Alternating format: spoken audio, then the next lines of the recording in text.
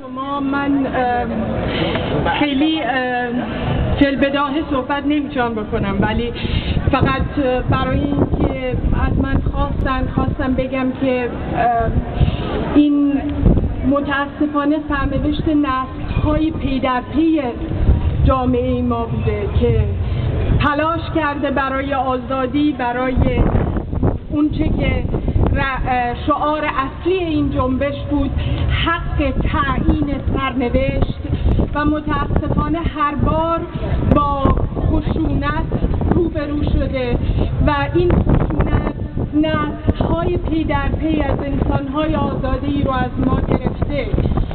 امروز کسانی که در زندان هستند یا کسانی که کشته شدن بعضیاشون هم سن بچه های من هست منی که پدر و مادرم را از دست دادم و حالا دوباره با نسل دیگه ای از قربانی ها ما روبرو هستیم. این مثل یک تله تله یک دیکتاتور که سرنوشت ما توش گرفتار شده. برای شکستن این تله این دور بسته تنها چاره ای که داریم مقاومت کنار هم ایستادنه بدون اینکه هویت سیاسی و فردی و اجتماعی خودمون رو نفی بکنیم بتونیم کنار هم بیستیم و به شعارهای مشترکی دست پیدا بکنیم برای رسیدن به آزادی و استقرار حقوق بشر در کشورمون.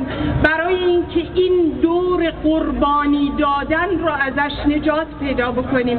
و دیگه کسی عزادار پدر مادر فرزند خواهر برادرش توی جامعه ما نباشه. امیدوارم.